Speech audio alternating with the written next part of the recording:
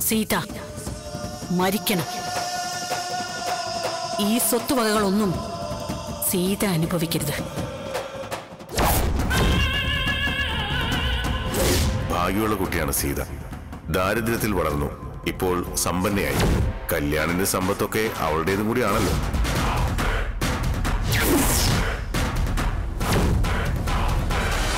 സീതയ്ക്ക് ആ സ്വത്തുവകകൾ അനുഭവിക്കാൻ രോഗം ഉണ്ടാവില്ല